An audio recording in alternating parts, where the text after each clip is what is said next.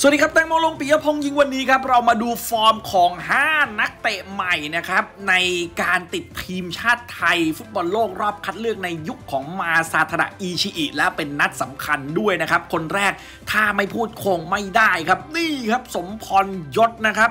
สุดยอดผู้รักษาประตู super save ที่เพิ่งเข้ามาใหม่ตรงนี้เมื่อกี้เซฟไปแล้ว เดี๋ยวดูจังหวะนี้โอ้โห ในการที่ลงสนามนะครับเล่นให้กับการท่าเรือนี่เจอลำพูนยิงเข้าไปจังหวะนี้นี่โอ้โหพุ่งปัดลูกนี้อย่างนั้นเนี่ยเสียบเสาแล้วนะครับโอ้ เอาครับเดี๋ยวดูจังหวะนี้เจอกับบุรีรัมย์แล้ววอลเล่มาตรงนี้โอ้โหข่าวซีดแต่ว่าทางด้านของ โอ้สมพรยศเนี่ยเซฟเอาไว้ได้ครับเดี๋ยวดูกันอีกทีหนึ่งครับ ปัดมาลูกนี้สุดจอดครับแล้วเคลียร์ไป เอาครับ การท่าเรือเจอกับชลบุรีเจ้าหนึ่งเปิดมาแล้วมงตรงนี้ลงพื้นก่อนแต่สมพรยศยังไม่พลาดนะครับ ยังปัดไว้ได้นี่แหละครับ ฟอร์ม super save ของเจ้าตัวนะครับฤดูกาลนี้เนี่ยเก็บไปถึง 8 clean sheet แล้วครับ โอ้โหทำได้อย่างยอดเยี่ยมนะครับ นี่ฮะออกมาเซฟก็ได้ แล้วเดี๋ยวดูเขาเปิดมาตรงนี้โอ้โหแล้ว กระโดดปัด โอ้โหถอยหลังปัดก็มานะครับ ต้องบอกเลยครับว่า 8 คลีนชีทที่เจ้าตัวทำได้ไม่ใช่ฟลุกแน่นอนนะครับโอ้โห ดูสิครับโมงมาแบบนี้แล้วก็ถอยปัดนะฮะ อีกคนหนึ่งนะครับที่ติดมาในยุคของอิชิอิเนี่ย ที่เพิ่งเข้ามาก็คือสัสลักลูกนี้นี่ โอ้โหแอซิดให้กับสุภชัยยิงเข้าไปครับ แต่คนที่โดนเนี่ย จังหวะที่โดนก็มีเหมือนกันสมพรยศนะครับ เพราะว่าสมพรยศเนี่ยโดนไปถึง 29 ประตูในฤดูกาลนี้นะครับอะแต่ว่าตำแหน่งที่ติดมาด้วยเนี่ยไม่ว่าจะเป็นซ้ายไม่ว่าจะเป็นขวาเนี่ยสัสลักเนี่ยลงสนามมาเล่นหมดแล้วนะครับในฤดูกาลนี้นะฮะเนี่ยครับหักข้อกลับมาแล้วเรียบร้อยเลยนะครับ โอ้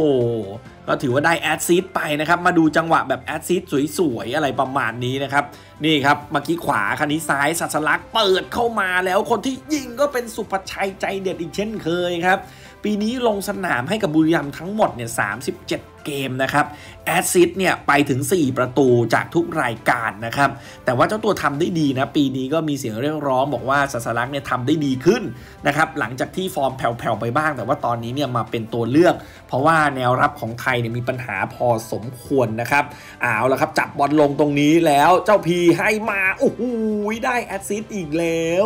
ได้ assist อีกแล้วนะครับสัสลักไหประโคนเนี่ยจ่ายมาให้กับบิโซลี่ครับ เนี่ยครับจากจังหวะที่บุรีรัมย์เนี่ยตั้งเกมขึ้นมานะครับแล้ววางไปเนี่ยก็เติมเกมได้ คือเล่นทั้งซ้ายทั้งขวาเจ้าตัวก็พยายามจะมีผลงานที่ดี แล้วก็เติมเกมมาไหลให้กับเพื่อนนะครับคือฟอร์มโดยรวมเนี่ยถือว่าค่อนข้างใช้ได้แล้วกันนะใช้คำว่าใช้ได้นะครับอะ แต่สัสลักเนี่ยเซอร์ไพรส์พอประมาณแต่อีกหนึ่งคนที่เซอร์ไพรส์สุด ๆ เลย นั่นก็คือทางด้านของธนบูรณ์ เกษารัตน์นั่นเองนะครับ comebackกลับมาติดทีมชาติอีกครั้งหนึ่งด้วยเหตุผลนะครับ ที่อิชิอิเนี่ยเปิดเผยออกมาว่าเขาอยากได้นักเตะที่เล่นได้หลากหลายตำแหน่งทดแทนกันได้นี่ธนบูรณ์นี่ไปหมดนะกลางรับกลางธรรมดาเซนเตอร์แบ็กนะฮะหรือไปยืนแบ็กก็เคยยืนมาแล้ว คือสามารถที่จะเล่นได้หลากหลายตำแหน่งมากๆนะครับในการที่จะลงสนามให้กับทีมชาติไทยเพราะฉะนั้นนี่คืออาวุธลับทีเด็ดเหมือนกันนะครับ ซึ่งปีนี้เนี่ยเจ้าตัวนะครับลงสนามให้กับสโมสรไปทุกรายการเนี่ยนะครับ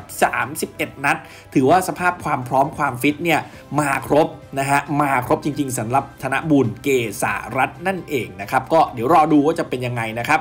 ส่วนคนนี้โอ้โหไม่ใช่คนยิงนะฮะถ้าคนยิงนี่ยินดีเวลคัมเลยครับ ไม่ใช่อันนี้ชิโกซี่นะฮะแต่ต้องมาดูฟอร์มของ อุทัยกันบ้างนะเอออุทัยนี่มีนักเตะนะฮะที่น่าสนใจติดเข้ามานั่นคือทางด้านของอิรฟานนั่นเองนะครับ แล้วดูครับจังหวะที่ยิงตรงนี้นี่ยิงสวยดีเหมือนกันนะฮะเอออิรฟานนี่มี assist ด้วยนะ จากการลงสนามใน 27 เกม 3 assist แล้วดูครับตรงนี้ครับให้เพื่อน โอ้ คือต้องบอกว่าให้อ่องทูครับ ให้อ่องทู ออเจ้าตัวเนี่ยเป็นเซอร์ไพรส์เลยนะ ที่เดบิวต์ในยุคของมาซาทาดะอิชิอิเนี่ยครับอาจจะเป็นมิดฟิลด์ตัวโฮบอลแล้วให้บอลง่ายออกบอลง่ายมากกว่านะครับเนี่ยฮะได้มาตรงกลางแล้วก็ไหลให้เพื่อนใช้จังหวะและโอกาสยิงไปเลยโอ้โหลูกนี้มีชันแลบเข้าไปนะครับก็ต้องรอดูว่าจะทำผลงานได้ดีขนาดไหน เพราะว่าเจ้าตัวเนี่ยนะครับ เดบิวต์ในยุทธชุดยู23นะครับของโคดโย่งวรุษศรีมัคคะนั่นเองนะครับในปี 2021 เท่านั้นนะครับแล้วก็ มีลูกนิ่ง ลูกเตะมุมอะไรเงี้ยก็เล่นได้ด้วย แต่ถ้าอยู่ในชุดใหญ่นี่น่าจะไม่ได้เหมานะครับในเรื่องของลูกเซตพีทต่างๆ นั่นเองนะครับอะมาดูกันที่อีกคนหนึ่งกันบ้างดีกว่านะครับ คนนี้โอ้โหยเห็นไหมครับ นี่คือคนใหม่ไม่เคยผ่านทีมชาติใด ๆ มาก่อนเลยนะครับ ไม่ติดชุดเล็กชุดใหญ่ชุดไหนไม่เคยเดบิวต์อย่างแท้จริงครับอัครพงษ์พุ่มวิเศษนั่นเองนะครับ โอ้โหดูสิครับ จังหวะนี้เนี่ยทำได้อย่างยอดเยี่ยมโล่งๆตรงกลางแบบนี้เลยครับ ยิงนะกดเต็มเท้าครับ แต่คนที่เปิดมาก็เป็นทางด้านของอนันต์ยอดสังวานครับ คือ 2 คนนี้เนี่ยติดทีมชาติมาด้วยกันทั้งคู่นะครับโอ้แล้วมาเดบิวต์ในชุดของมาซาทดะอิชิอิทั้งคู่แหละครับ ขึ้นชุดใหญ่ทั้งคู่นะครับ คือน่าสนใจจริง ๆ เลยครับ ว่าจะถูกใช้งานและจะอยู่ในสควอตทีม 23 รายชื่อหรือไม่นะครับ นี่ครับ เดี๋ยวดูจังหวะนี้ครับ ขึ้นมาทางด้านซ้ายลำพูนเนี่ยเล่นดีด้วยแล้วเปิดมาหูย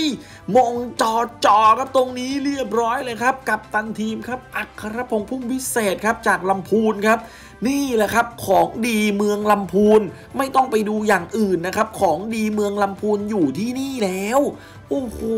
แบบนี้ครับ ไม่ผิดเพี้ยนแน่นอนทำไมมาซาตระอิชิอินะฮะถึงเลือกหมายเลข 8 ของลำพูนคนนี้เล่นดีจริง ๆ ครับ และเดี๋ยวดูจังหวะนี้ครับ ยิงโอ้โหยังโหดครับยังโหดครับ นี่บอกได้เลยนะครับ ถ้าได้ลงไปแล้วยิงได้นะครับ โอ้โห จะระเบิดระเบ้อเป็นผู้แตกเลยนะครับ เจ้าตัวเนี่ยอายุไม่ได้มากขนาดนั้นนะ 28-29 ปีเท่านั้นเองเกิดปี 1995 นะครับ แล้วโอ้โหดูสิครับผลงานในลีกนี้สุดยอดนะครับ ต้องยอมรับจริง ๆ ว่าคุ้มค่าและเหมาะสมกับการติดทีมชาติไทยชุดใหญ่นั่นเอง แต่อีกคนหนึ่ง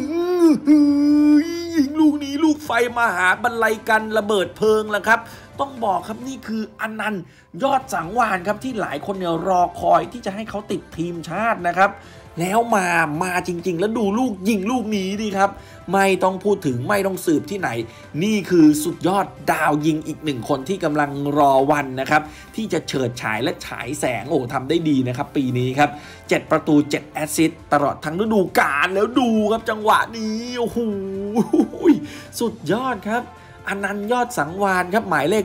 66 นั่นเองครับ สุดๆไปเลยครับเนี่ยครับบอลตกพื้นแล้วยิงลูกนี้ไม่ธรรมดานะครับ ลูกนี้คือ half volleyแล้วตวัดเข้าไปแบบนี้ แล้วยิงใครครับ ยิงกวินทำสัจจานันนี่คืออนันต์ยอดสังวานนะครับ กับประตูของเขาเนี่ยปีนี้ 7 ประตูโอ้โหเอาละครับ นี่คือทั้งหมดทั้งมวลนะครับ ฟอร์มการเล่นของนักเตะหน้าใหม่ทีมชาติไทยนั่นเองนะฮะก็ฝากติดตามกันด้วยเป็นกำลังใจให้กันนะครับ โดยการกดไลค์ กดแชร์ กด Subscribe และกดกระดิ่งแจ้งเตือนจะได้ไม่พลาดทุกคลิปความเคลื่อนไหวสำหรับวันนี้ลาไปก่อน สวัสดีครับ